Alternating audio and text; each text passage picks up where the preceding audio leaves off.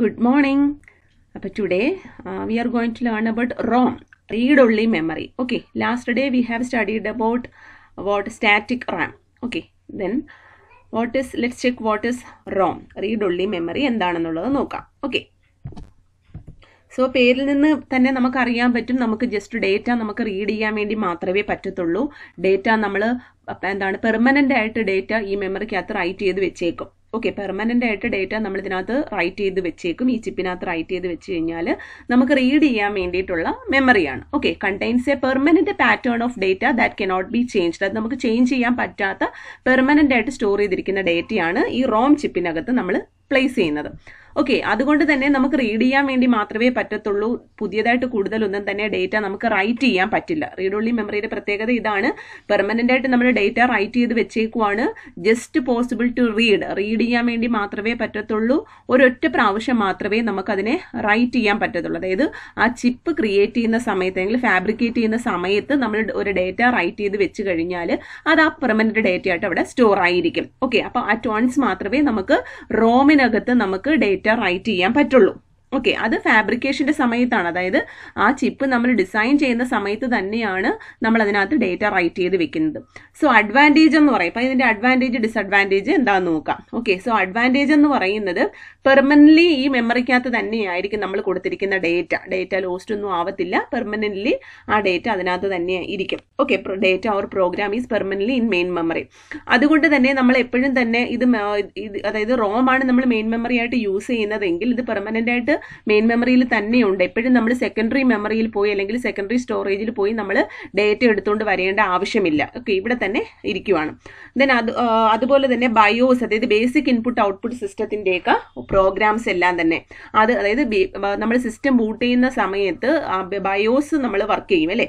ഈ BIOS work ചെയ്യാൻ വേണ്ടിയിട്ടുള്ള പ്രോഗ്രാം നമ്മൾ ഈ റീഡ് ഓൺലി മെമ്മറിക്കകത്താണ് വെച്ചേക്കുന്നത്. അതുകൊണ്ട് തന്നെ എപ്പോഴും നമ്മൾ സിസ്റ്റം ഓൺ ചെയ്യുമ്പോൾ തന്നെ ഇതെല്ലാം ഇനിഷ്യലൈസ് ആയിക്കോളും. ഓക്കെ അപ്പം നോൺ എഡിറ്റ് ലോഡ് എന്താണ് പ്രോഗ്രാം ഫ്രം അല്ലെങ്കിൽ ഇൻഫോർമേഷൻ ഫ്രം സെക്കൻഡറി സ്റ്റോറേജ് ഡിവൈസിൽ നിന്നും കൊണ്ടുവരേണ്ട ആവശ്യമില്ല.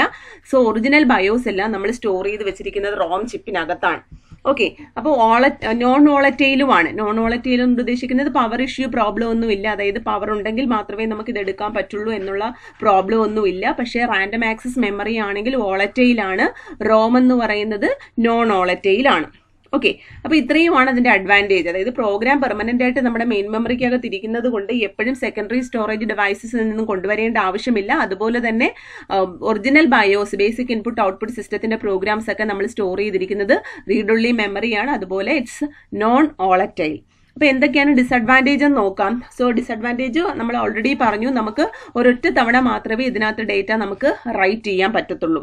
ഓക്കെ ഈ റൈറ്റ് ചെയ്യാൻ വേണ്ടിയിട്ട് ഒരു അതായത് ആ റോം ചിപ്പ് നമ്മൾ ഡിസൈൻ ചെയ്യുന്ന സമയത്ത് തന്നെയാണ് നമ്മൾ റൈറ്റ് ചെയ്യുന്നത്. അത് എക്സ്പെൻസീവ് ആയിട്ടുള്ള ഒരു പ്രോസസ്സാണ് data insertion is very expensive and no room for error that means ഇപ്പം എന്തെങ്കിലും ഒരു എറർ വന്നു കഴിഞ്ഞാൽ ആ റോമിനകത്തുള്ള ഹോൾ ബാച്ച് അതായത് അതിനകത്തുള്ള ആ ആ റോമിനകത്ത് സ്റ്റോർ ചെയ്തിരിക്കുന്ന ഫുൾ കംപ്ലീറ്റ് ഡേറ്റയും നമ്മൾ എന്ത് ചെയ്യേണ്ടി വരും? റൈസ് ചെയ്ത് കളയേണ്ടി വരും. അല്ലെങ്കിൽ നമുക്കത് നമുക്ക് ആ റോം തന്നെ മൊത്തത്തിൽ നമുക്ക് മാറ്റേണ്ടി വരും. അപ്പം എറർ വന്നു കഴിഞ്ഞാൽ എങ്ങനെ നമ്മൾ എന്താണ് ഇൻഫോർമേഷൻ എങ്ങനെ നമുക്ക് റെഡ് ബാക്ക് ചെയ്യാം എന്നുള്ള കാര്യങ്ങളൊന്നും ഇതിനകത്തില്ല. കാര്യം എറർ വെക്കാൻ വേണ്ടിയിട്ടുള്ള സ്പെഷ്യൽ കാര്യങ്ങളൊന്നും തന്നെ സ്പെഷ്യൽ റോം ബ്ലോക്കുകളോ ഒന്നും തന്നെ റോമിനകത്ത് വെച്ചിട്ടില്ല. ഓക്കെ അപ്പോൾ ഡിസഡ്വാന്റേജ് ഇതാണ്. ഒരൊറ്റ പ്രാവശ്യം മാത്രമേ നമുക്ക് ഡേറ്റ റൈറ്റ് ചെയ്യാൻ പറ്റത്തുള്ളൂ. അത് തന്നെ നമ്മൾ ഫാബ്രിക്കേഷൻ പ്രോസസ്സിലാണ് ഡേറ്റ നമ്മൾ റൈറ്റ് ചെയ്യുന്നത്.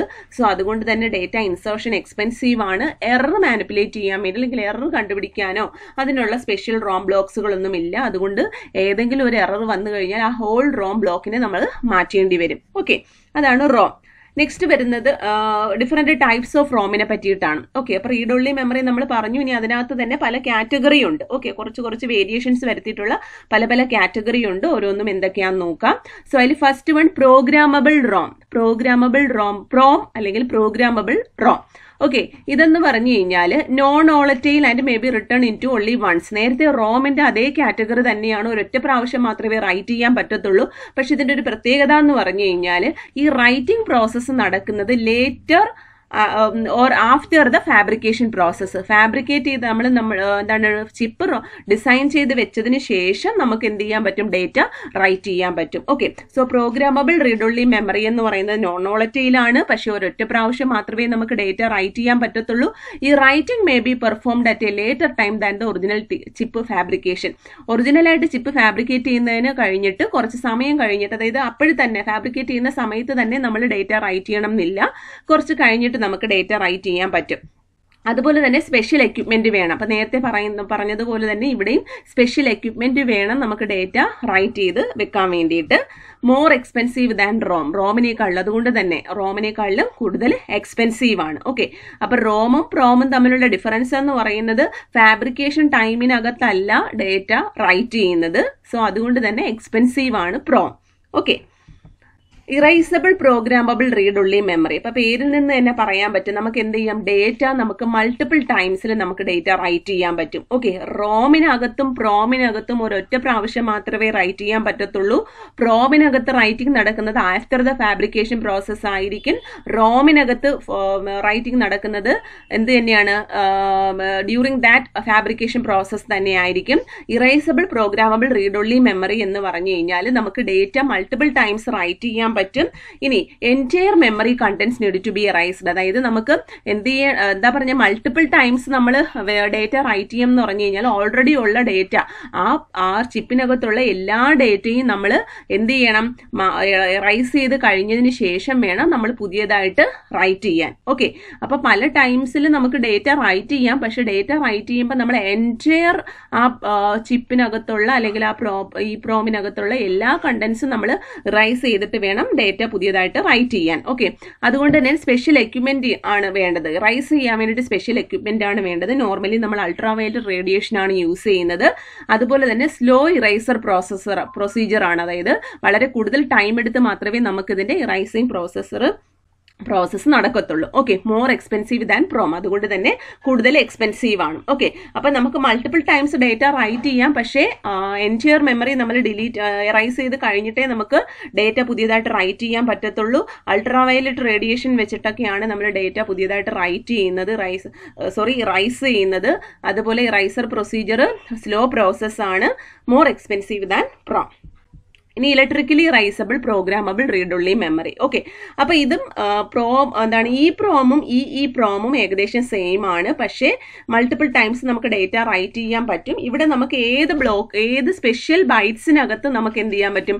ഡേറ്റ റൈസ് ചെയ്ത് പുതിയതായിട്ട് കൊടുക്കാൻ പറ്റും. ഓക്കെ മറ്റടുത്താണെങ്കിൽ ഈ ഈ ഈ പ്രോമിനകത്താണെങ്കിലുള്ള പ്രത്യേകത എന്ന് പറഞ്ഞു കഴിഞ്ഞാൽ എന്റയർ ബ്ലോക്ക് നമ്മൾ മാറ്റേണ്ടി വരും. എല്ലാം നമ്മൾ റൈസ് ചെയ്തിട്ട് പുതിയതായിട്ട് ഒന്നേന്ന് പറഞ്ഞ് നമ്മൾ കൊടുക്കേണ്ടി വരും. പക്ഷേ ഇവിടെ എന്ന് പറഞ്ഞു കഴിഞ്ഞാൽ ഈ ഈ പ്രോമിന് അതിനകത്ത് സ്പെഷ്യൽ ബൈറ്റ് ലെവലിൽ നമുക്ക് എന്ത് ചെയ്യാൻ പറ്റും? ഇറേസ് ചെയ്യാൻ പറ്റും. ബൈറ്റ് ഏത് എവിടെയാണോ നമുക്ക് മാറ്റേണ്ടത്. ആ ഒരു പർട്ടിക്കുലർ ബൈറ്റ് ലൊക്കേഷനിൽ മാത്രം നമ്മൾ ഡേറ്റ എടുത്ത് റൈസ് ചെയ്തിട്ട് അവിടെ പുതിയതായിട്ട് ഡേറ്റ റൈറ്റ് ചെയ്യാൻ പറ്റും. Okay can be altered multiple times special equipment വേണം. പക്ഷേ പ്രയർ കണ്ടൻസ് മൊത്തത്തിൽ എല്ലാം നമ്മൾ മാറ്റേണ്ട ആവശ്യമില്ല. Byte or bytes addressed are addresses are updated അതായത് ബൈറ്റ് ലെവലുള്ള നമ്മൾ സ്പെസിഫൈ ചെയ്യുന്ന ഒരു സ്പെഷ്യൽ ബൈറ്റ് അഡ്രസ്സിലുള്ള ഡേറ്റ മാത്രം നമ്മൾ റൈസ് ചെയ്തിട്ട് റൈറ്റ് ചെയ്യാൻ പറ്റും. അൾട്രാവയലറ്റ് റേഡിയേഷൻ തന്നെയാണ് ഇവിടെയും റൈസർ പ്രൊസീജിയറിന് വേണ്ടി യൂസ് ചെയ്യുന്നത്. So fast raiser procedure than E PROM കാര്യം വളരെ കുറച്ച് സ്ഥലം മാത്രം നമ്മൾ റൈസ് ചെയ്താൽ മതി. More expensive than E PROM E പ്രോമിനേക്കാളും കൂടുതൽ എക്സ്പെൻസീവും ആണ്. അതാണ് electrically raisable programmable read memory so next വരുന്നത് റോം എന്ന് പറയുന്നത് ഫ്ലാഷ് മെമ്മറിയാണ് സോ ഫ്ലാഷ് മെമ്മറി കൊണ്ട് ഉദ്ദേശിക്കുന്ന പേരിൽ നിന്ന് തന്നെ നമുക്കറിയാൻ പറ്റും. ഫ്ലാഷ് കൊണ്ട് ഉദ്ദേശിക്കുന്ന അതിന്റെ സ്പീഡിനെ റെഫർ ചെയ്യും. സ്പീഡിന്റെ റെഫറൻസ് വെച്ചിട്ടാണ് നമ്മൾ അതിനെ ഫ്ലാഷ് മെമ്മറി എന്ന് പറയുന്നത്. Named because of the speed with which it can be reprogrammed reprogram ചെയ്യുന്നതിനുള്ള സ്പീഡിന്റെ ബേസിലാണ് അതിനെ നമ്മൾ ഫ്ലാഷ് മെമ്മറി എന്ന് പേര് കൊടുത്തിരിക്കുന്നത്. ഓക്കെ അപ്പോൾ ഇതിന്റെ കോസ്റ്റ് എന്ന് പറയുന്നത് ഈ പ്രോമിനും ഈ ഈ പ്രോമിനും ഇടയിലായിരിക്കും. ഈ പ്രോമിന്റെയും ഈ ഈ പ്രോമിന്റെയും കോസ്റ്റിന്റെ ഇടയിൽ വരുന്നതാണ് ഫ്ലാഷ് മെമ്മറിയുടെ കോസ്റ്റ് എന്ന് പറയുന്നത് ഇലക്ട്രിക്കൽ സിഗ്നൽസ് ആണ് നമ്മൾ ഇതിന് റൈസിങ്ങിന് വേണ്ടിയിട്ട് യൂസ് ചെയ്യുന്നത്. നേരത്തെ നമ്മൾ പറഞ്ഞത് അൾട്രാ വയലറ്റ് റേഡിയേഷൻസ് ആയിരുന്നു. സോ ഫ്ലാഷ് മെമ്മറിക്കകത്ത് നമ്മൾ യൂസ് ചെയ്യുന്നത് ഇലക്ട്രിക്കൽ സിഗ്നൽസ് ആണ്. ഇലക്ട്രിക്കൽ റൈസിംഗ് ടെക്നോളജിയാണ് യൂസ് ചെയ്യുന്നത്. ബ്ലോക്ക് ആയിട്ട് നമുക്ക് മെമ്മറിയെ നമുക്ക് റൈസ് ചെയ്യാൻ പറ്റും. മറ്റിടത്തെല്ലാം നമ്മൾ ബൈറ്റ് ബൈറ്റ് ആയിട്ടായിരുന്നു. നമ്മൾ ഈ ഈ പ്രോമിനകത്ത് പറഞ്ഞത് ബൈറ്റ് ലെവലിലുള്ള ഇറൈസർ പ്രൊസീജിയർ ആയിരുന്നു. പക്ഷേ ഇവിടെ ബ്ലോക്ക് ഒരു ബ്ലോക്കിനകത്ത് മൾട്ടിപ്പിൾ ബൈറ്റ്സ് ഉണ്ടാകാം. Okay so possible to erase blocks of memory നമുക്ക് റൈസ് ചെയ്യാൻ പറ്റും. ബൈറ്റ് ലെവൽ ഇറൈസർ പോസിബിൾ അല്ല. Byte level erasure erasure possible അല്ല. അതുപോലെ തന്നെ ഇതിനകത്ത് യൂസ് ചെയ്തിരിക്കുന്ന നമ്മൾ പെൻ ഡ്രൈവിനകത്തൊക്കെ യൂസ് ചെയ്തിരിക്കുന്ന ടെക്നോളജിയാണ് ഫ്ലാഷ് മെമ്മറി ഇപ്പം ഹൈ സ്പീഡ് ഇറൈസർ പ്രൊസീജിയർ ആയതുകൊണ്ടാണ് അതിനെ ഫ്ലാഷ് മെമ്മറി എന്ന് പേര് പറയുന്നത്. കോസ്റ്റ് എന്ന് പറയുന്നത് in between that of E PROM and E E PROM okay അതുപോലെ തന്നെ ബൈറ്റ് ലെവൽ ഉള്ള പ്രൊസീജർ ഇറൈസർ പ്രൊസീജിയർ അല്ല നടക്കുന്നത്. ബ്ലോക്ക് ലെവലിലാണ് ഇറൈസർ പ്രൊസീജിയർ നടക്കുന്നത്. ഇനി ഇറൈസിംഗ് ടെക്നോളജി യൂസ് ചെയ്യുന്നത് ഇലക്ട്രിക്കൽ ഇറൈസിംഗ് ടെക്നോളജിയാണ് ഓക്കെ ഇതാണ് ഫ്ലാഷ് മെമ്മറി അപ്പൊ ഇത്രയുമാണ് നമ്മുടെ റോമിനകത്ത് വരുന്നത്. റീഡ് ഒള്ളി മെമ്മറിയിലകത്തുള്ള ഡിഫറെന്റ് ടൈപ്സ് വരുന്നത്. ഓക്കെ ഇനി advanced D RAM organization okay അപ്പൊ ഡി റാം അതായത് ഡി റാം എന്ന് പറഞ്ഞാൽ ഡൈനാമിക് റാം മെയിൻ മെമ്മറി നമ്മൾ ഡിസൈൻ ചെയ്യുന്നത് എന്താണ് ഡി റാം ഡി റാം വെച്ചിട്ടാണ് ക്യാഷ് മെമ്മറി നമ്മൾ ഡിസൈൻ ചെയ്യുന്നത് എസ് റാം വെച്ചിട്ടാണ്. ഓക്കെ അപ്പൊ സോ ഈ ഡി റാം ആർക്കിടെക്ചർ എന്ന് പറയുന്നത് നമ്മൾ കണ്ടുപിടിക്കുന്നത് okay from the nineteen seventies to two thousand two thousand വരെ ശരിക്കും പറഞ്ഞാൽ ഡി റാമിന്റെ ഈ ടെക്നോളജിയിലൊന്നും വലിയ വ്യത്യാസമൊന്നും വന്നിട്ടില്ല. ഓക്കെ അപ്പോൾ അത് തന്നെയാണ് നമ്മൾ ഇന്റേണൽ ആർക്കിടെക്ചറും അതിന്റെ പ്രോസസർ മെമ്മറി ബസ്സുമായിട്ടുള്ള ഇന്റർഫേസും കാര്യങ്ങളും എല്ലാം തന്നെ ആ ഒരു ട്രഡീഷണൽ വേയിൽ തന്നെ കൊണ്ടുപോയിക്കൊണ്ടിരിക്കുകയായിരുന്നു അപ്പം നമുക്ക് ഹൈ സ്പീഡ് എന്തെങ്കിലും ഒരു ഇംപ്രൂവ് ചെയ്യാൻ വേണ്ടിയിട്ട് അല്ലെങ്കിൽ ഒരു ഹൈ സ്പീഡ് ഓപ്പറേഷൻ നടത്താൻ വേണ്ടിയിട്ട് ഇതിനിടയിൽ ഈ ടൂ തൗസൻഡ് വരെയുള്ള കാലഘട്ടത്തിലൊന്നും വലിയ ചേഞ്ചസ് ഒന്നും വരുത്തിയിട്ടില്ല. ഓക്കെ അപ്പോൾ അത് കൊണ്ടുവരാൻ വേണ്ടിയിട്ട് നമുക്ക് ചെയ്യാൻ പറ്റുന്നത് ഇത് ഇംപ്രൂവ് പെർഫോമൻസ് ഇംപ്രൂവ് ചെയ്യാൻ വേണ്ടിയിട്ട് നമുക്ക് ചെയ്യാൻ പറ്റുന്നതെന്ന് പറഞ്ഞു കഴിഞ്ഞാൽ ഒന്നുകിൽ high speed S RAM cache അതായത് ക്യാഷിനകത്ത് നമ്മൾ യൂസ് ചെയ്യുന്നത് എസ് റാം ആണ് അല്ലേ? ആ സ്പീഡ് കൂടുതലാണ്. അപ്പോൾ പെർഫോമൻസ് കൂട്ടാൻ വേണ്ടി ഒന്നുകിൽ നമുക്ക് എന്ത് ചെയ്യാം? ക്യാഷിന്റെ ലെവൽസ് കൂട്ടാം. പല പല എന്താണ് ത്രീ ലെവലുണ്ട് ടു ലെവലുണ്ട് അങ്ങനെ പല ലെവൽസിലുള്ള ക്യാഷ് നമുക്ക് നമ്മുടെ സിസ്റ്റത്തിനകത്തോട്ട് കൊണ്ടുവരാം. പക്ഷെ ഇത് ഭയങ്കര കോസ്റ്റ്ലിയർ ആയതുകൊണ്ട് നമുക്കത് യൂസ് ചെയ്യാൻ പറ്റത്തില്ല. അതുപോലെ തന്നെ ക്യാഷ് നമ്മൾ കൂടുതൽ സൈസ് കൂട്ടുക എന്ന് പറഞ്ഞു കഴിഞ്ഞാൽ എന്താണ് നമുക്ക് അഡ്വാന്റേജിനേക്കാളും കുറച്ച് കഴിയുമ്പോൾ ഡിസഡ്വാന്റേജ് ആയിരിക്കും വരുന്നത്. ഓക്കെ പെർഫോമൻസ് കൂടുന്നതിനേക്കാളും പെർഫോമൻസിനെ അത് ബാധിക്കാം. ഓക്കെ അപ്പൊ അതുകൊണ്ട് തന്നെ നമ്മൾ ഡിറാമിനകത്ത് അതായത് ഡിറാം ടെക്നോളജിയിൽ വലിയ വ്യത്യാസമൊന്നും വരുത്തിയിട്ടില്ല. അപ്പൊ അതിനകത്ത് കുറച്ച് improvements കൊണ്ടുവന്നിരിക്കുന്നതാണ് first one S DRAM okay അപ്പോൾ നമുക്ക് ചെയ്യാൻ പറ്റുന്നത് one or more levels of high speed S RAM കൊണ്ടുവരാം. അല്ലെന്നുണ്ടെങ്കിൽ അത് കൊണ്ടുവന്നു കഴിഞ്ഞാലുള്ള പ്രശ്നം എന്താണ്? കോസ്റ്റ് വളരെ കൂടുതലായിട്ട് വരും. അതുപോലെ തന്നെ ക്യാഷിന്റെ ലെവൽ അല്ലെങ്കിൽ സൈസ് നമ്മൾ എൻഹാൻസ് ചെയ്യുക എന്ന് പറഞ്ഞാൽ പെർഫോമൻസിനെ ബാധിക്കും. സോ അതുകൊണ്ട് തന്നെ നമ്മൾ number of enhancements have been developed to D RAM D റാമിനകത്ത് കുറച്ച് എൻഹാൻസ്മെന്റ്സ് കൊണ്ടുവന്നേക്കുവാണ്. അതിൽ first വണ്ണാണ് S D RAM synchronous D RAM S D RAM അല്ലെങ്കിൽ സിങ്ക്രണസ് ഡി റാം എന്ന് പറയും. അടുത്തത് D D R D RAM അടുത്തത് D D R double data rate D D R D RAM അടുത്തത് R D R sorry ഇവിടെ പേര് കൊടുത്തിരിക്കുന്നത് D S D R D RAM okay correct തന്നെയാണ്. Okay S D RAM D D R D RAM അതുപോലെ തന്നെ R D RAM okay അപ്പൊ ഇങ്ങനെ മൂന്ന് എൻഹാൻസ്മെന്റ്സ് ആണ് നമ്മൾ നമ്മുടെ ഡി റാമിനകത്ത് കൊണ്ടുവന്നിരിക്കുന്നത്. ഓക്കെ അതിൽ അതിന്റെ എഫിഷ്യൻസിയും കാര്യങ്ങളൊക്കെ ട്രാൻസ്ഫർ റേറ്റും ട്രാൻസ്ഫർ റേറ്റ് എന്ന് പറഞ്ഞു കഴിഞ്ഞാൽ എന്താണ്? സെക്കൻഡ്സിൽ നമുക്ക് പാസ് ചെയ്യാൻ പറ്റുന്ന number of bits okay number of sub ബിറ്റ്സിന്റെ size അതുപോലെ തന്നെ ക്ലോക്ക് ഫ്രീക്വൻസി ആക്സസ് ടൈമും ഇല്ല പിൻ കൗണ്ട് പിൻ കൗണ്ട് എന്ന് പറഞ്ഞാൽ ആ ചിപ്പിനകത്ത് എത്ര പിന്നുകളുണ്ട് ഓരോ ഇലക്ട്രിക് ഓരോ സർക്യൂട്ടിനകത്ത് ചിപ്പിനകത്തും കുറേ പിന്നുകൾ കാണും. ആ പിന്നുകൾ വെച്ചിട്ടാണ് നമ്മൾ ആ ബ്ലോക്കിനകത്ത് അതിനെ ഫിക്സ് ചെയ്ത് വെക്കുന്നത്. സോ പിൻ കൗണ്ടുകൾ എസ് ഡി റാമിന് വൺ സിക്സ്റ്റി എയ്റ്റ് ആണ്. ഡി ഡി ആറിന് വൺ എയ്റ്റി ഫോർ ആണ്. ആർ ഡി റാമിനകത്ത് വൺ സിക്സ്റ്റി ടു ആണ്. അതുപോലെ ക്ലോക്ക് ഫ്രീക്വൻസിന്റെ വേരിയേഷനും ഒക്കെ ഉണ്ട് ആക്സസ് ടൈം എന്ന് പറയുന്നത് അതിന്റെ റീഡ് റൈറ്റ് ഹെഡ് ആ കറക്റ്റ് പൊസിഷനിൽ നമ്മൾ കൊണ്ട് വെക്കുന്നതിനെയാണ് ആക്സസ് ടൈം എന്ന് പറയുന്നത്. സോ ഈ ആക്സസ് ടൈം ഏത് പൊസിഷനിലായാലും കോൺസ്റ്റന്റ് ആയിരിക്കും. കാര്യം റാമിനകത്ത് ഡൈനാമിക് ആയിട്ടാണ് നമ്മൾ എടുക്കുന്നത്. അതുകൊണ്ട് തന്നെ റാൻഡം ആക്സസ് ആണ് ഏത് പൊസിഷനിലുള്ള ഡേറ്റ് എടുക്കാനും ഫിക്സഡ് ടൈം ആണ് യൂസ് ചെയ്യുന്നത്. Okay then S D RAM എന്താണെന്ന് നോക്കാം. എസ് ഡി റാം കൊണ്ട് ഉദ്ദേശിക്കുന്നത് സിംഗ്രണസ് മാനറിനകത്താണ് എസ് ഡി റാം വർക്ക് ചെയ്യുന്നത്. അപ്പം ഞാൻ നിങ്ങൾ സിംഗ്രണസ് റീഡ് ഓപ്പറേഷനും സിംഗ്രണസ് റൈറ്റ് ഓപ്പറേഷൻ അതുപോലെ asynchronous read operation asynchronous write operation ഒക്കെ നമ്മൾ ആദ്യം പറഞ്ഞിട്ടുണ്ടായിരുന്നു. പ്രോസസ്സറിന്റെ വർക്കിംഗ് പറഞ്ഞ സമയത്ത് സിംഗ്രണസ് റീഡ് സിംഗ്രണസ് റൈറ്റ് അസി അസിങ്ക്രണസ് റീഡ് അസിങ്ക്രണസ് റൈറ്റ് ഒക്കെ പറഞ്ഞായിരുന്നു. സോ അതിനകത്ത് വരുന്ന അതേ ഒരു കാറ്റഗറിയിലാണ് നമ്മുടെ ഈ സിങ്ക്രണസ് ബീറാം വർക്ക് ചെയ്യുന്നത്. ഓക്കെ സിങ്ക്രണസ് മാനറിലാണ് സിങ്ക്രണസ് കൊണ്ട് ഉദ്ദേശിക്കുന്നത് based on some clock signals some clock signals അല്ലെങ്കിൽ ടൈമിംഗ് സിഗ്നൽസിനെ ബേസ് ചെയ്ത് വർക്ക് ചെയ്യുന്നതിനെയാണ് സിങ്ക്രണസ് എന്ന് പറയുന്നത്. ഓക്കെ അപ്പോൾ ആ ഒരു ക്ലോ എത്ര ഓരോ പർട്ടിക്കുലർ ഓപ്പറേഷൻസ് പെർഫോം ചെയ്യാനും ഓരോ പർട്ടിക്കുലർ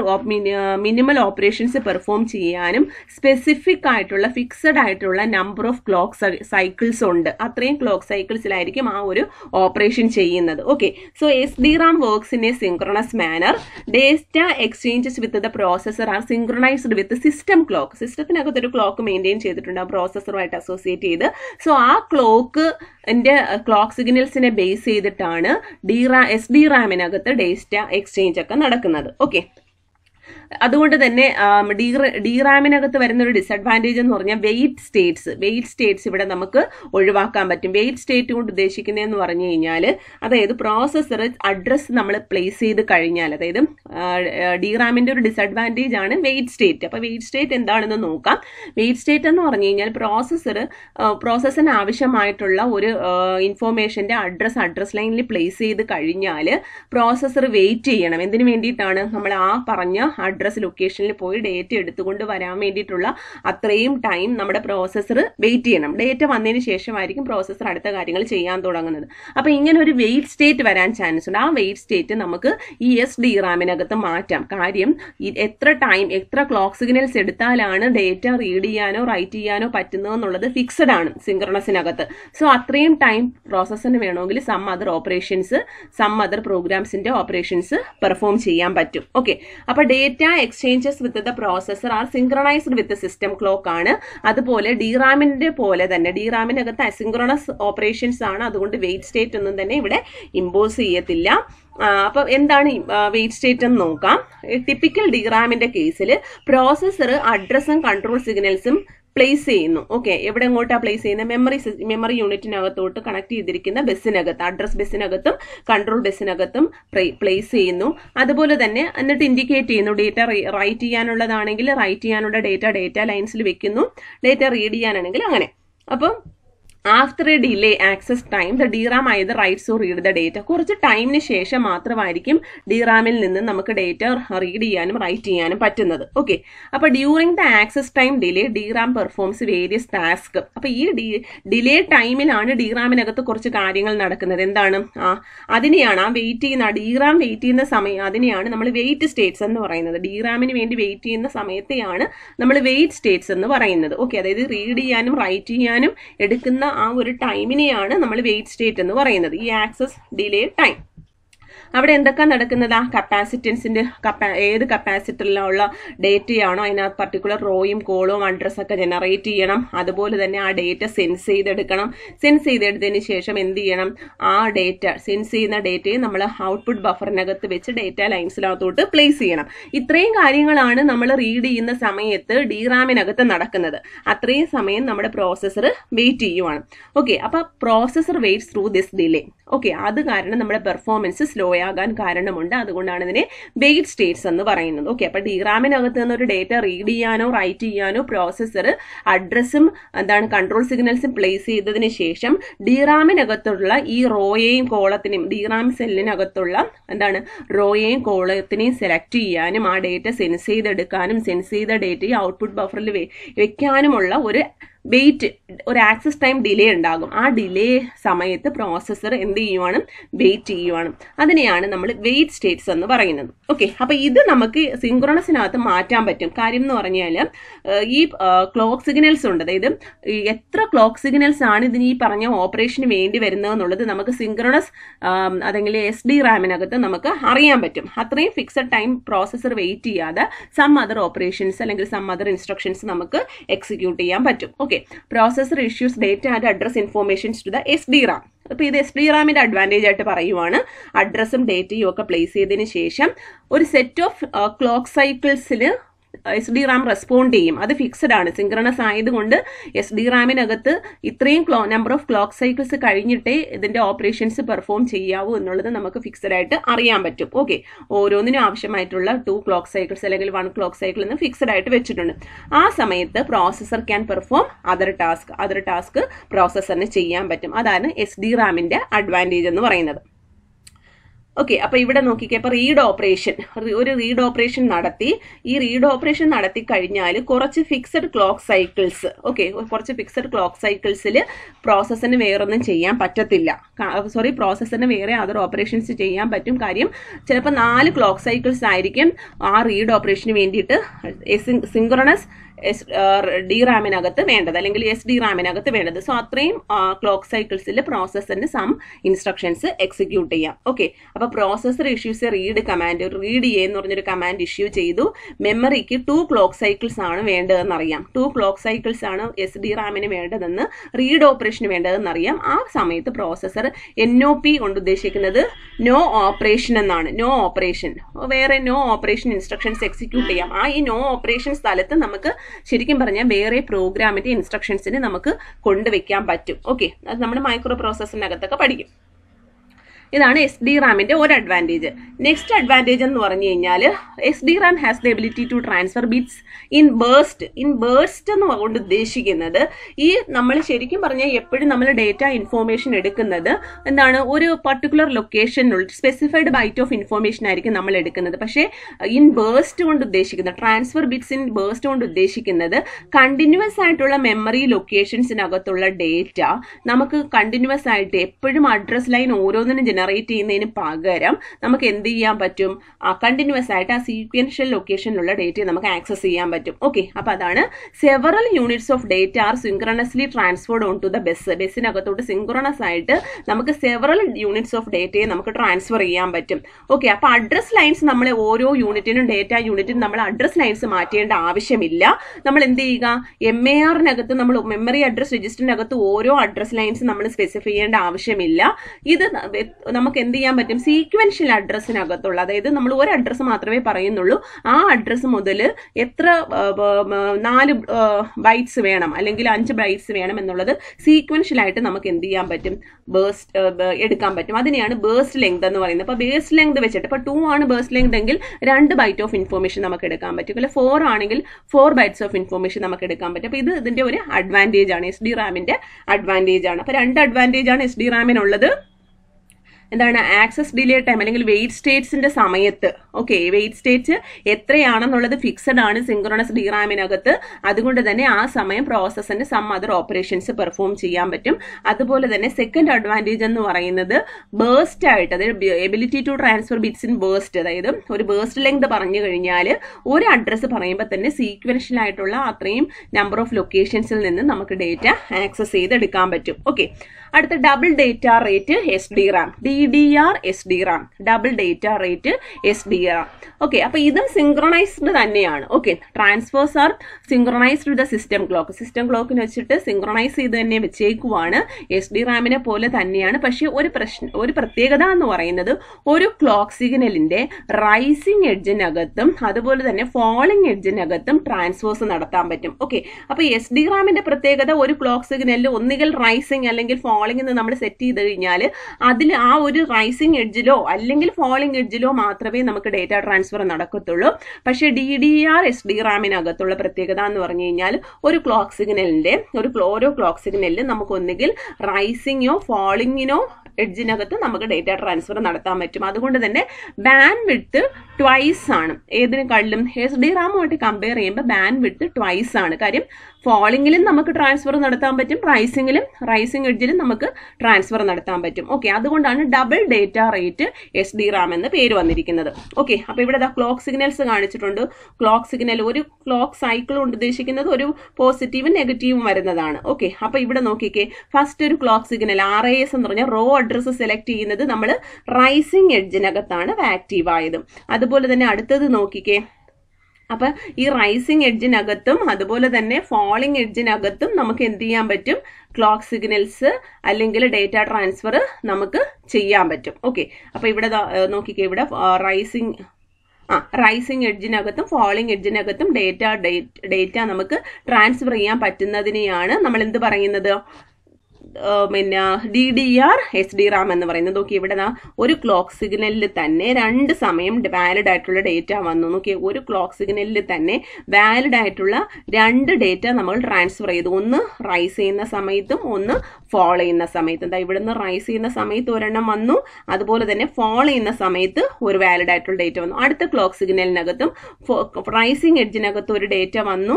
ഫോളിംഗ് സ്ഥലത്ത് ഒരു ഡേറ്റ വന്നു. അപ്പൊ സാധാരണ നമ്മൾ ചെയ്യുന്നത് ഒന്നുകിൽ റൈസിങ്ങിന് അല്ലെങ്കിൽ ഫോളിങ്ങിന് മാത്രമേ ഉള്ളൂ. പക്ഷെ D D R S D റാമിനകത്ത് rising എഡ്ജിലും ഫോളിംഗ് എഡ്ജിലും ഒരു ക്ലോക്ക് സൈക്കിളിൽ തന്നെ രണ്ട് പ്രാവശ്യം നമുക്ക് ഡേറ്റ ട്രാൻസ്ഫർ നടത്തും. അതുകൊണ്ട് തന്നെ ബാൻഡ് വിട്ട് ട്വൈസ് ആയിരിക്കും as compared to S D RAM okay അപ്പോൾ ഇത്രയേ ഉള്ളൂ ഫസ്റ്റ് മോഡ്യൂളിന്റെ ടോപ്പിക്ക് ബാക്കി നമുക്ക് സെക്കൻഡ് മോഡ്യൂൾ നെക്സ്റ്റ് ടൈം നോക്കാം. ഓക്കെ